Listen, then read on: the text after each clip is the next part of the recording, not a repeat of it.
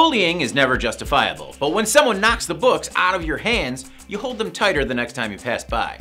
I mean, it's books, right? Like, I mean, what are they knocking out of your hands now? Not that it's acceptable. A team of researchers is employing a similar tough love technique, only they're using it to train robots. During initial research, the team from USC found that when robots are allowed to roam free in the wild, they are often bullied by humans. In this particular case, they watched as unsupervised kids kicked, punched, and even threw things at a robot in a mall. Damn kids? But we know from experience that it's not just kids who act in an adversarial manner. Just last week, researchers at the University of Illinois and MIT were hitting little Hermes with a hammer. However, the team from USC found that such behavior can help robots adapt, learn, and improve. For the simple experiment, they took a robot in a virtual environment and asked it to pick up an object. After it picked it up, they swatted it out of the robot's hand. And as they continued, the robot learned how to hold it with a stronger grasp and make it harder to knock loose. Until now, researchers have tried to teach robots by showing them how to do things. Well, this study found that robots actually learn and adapt faster by trying to stop them. And it's more efficient. The adversarial actions actually made the robot twice as successful at learning how to grasp an object. Next, the researchers will work with a real robot arm. So, something that could potentially push back. But they insist that while their algorithm has proved successful, robot training will require a balance of tough love and encouragement. Ow! What the f, Kevin?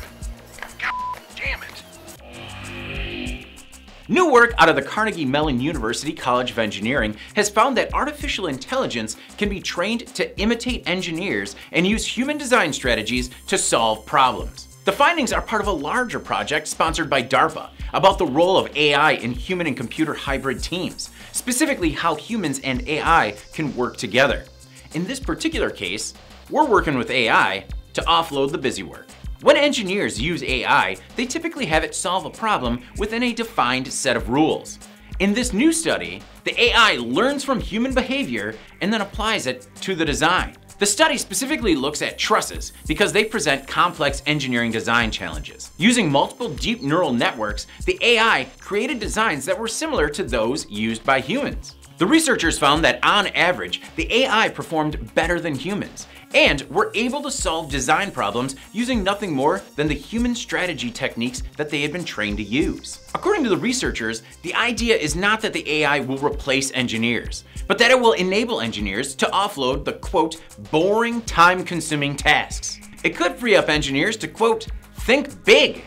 And depending on the increasing capabilities, they might have a lot more time to sit around and think big. Researchers from Case Western Reserve University have discovered a way to protect homes from devastating wildfires. They covered the entire house with a fire blanket. In a number of tests, both in the lab and in prescribed wildfires, the team found that relatively thin, less than 1 millimeter aluminized fire blankets can protect wooden structures. The nature of wildfires is unpredictable, but if the duration of the fire was relatively short, like less than 10 minutes, and the heat doesn't destroy the aluminum foil, the structure could survive.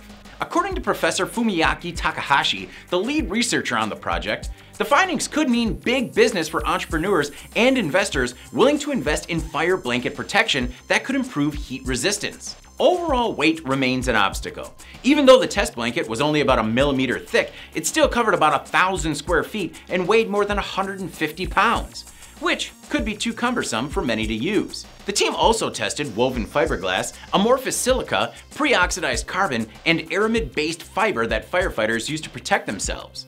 Aluminized materials are the frontrunners thus far. According to estimates, about 38% of new homes built in the western United States are in dangerous zones, and this fire blanket could be one way of protecting them. Next, the researchers plan to test longer heat exposures, which plays a critical role in the structure-to-structure -structure ignition in high housing density areas. They will also investigate deployment. Previous ideas consisted of a device on the top of your house that would automatically deploy the blanket. And it's also possible that the blanket could be installed manually, with enough notice and by professional installers. But it could take hours to put up. I'm David Mantey. This is Engineering by Design.